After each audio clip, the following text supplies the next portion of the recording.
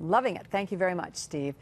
Putting the Help Wanted signs out, a career fair was held in Watervliet today. The Arsenal Business and Technology Partnership hosted the event. It was at the Hudson Shores Park.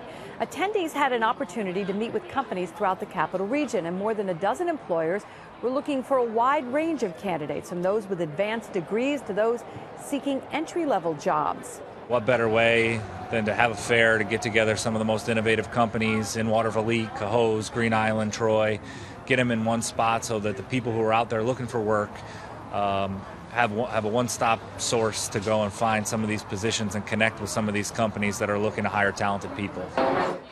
The fair also had information about educational opportunities at Hudson Valley Community College.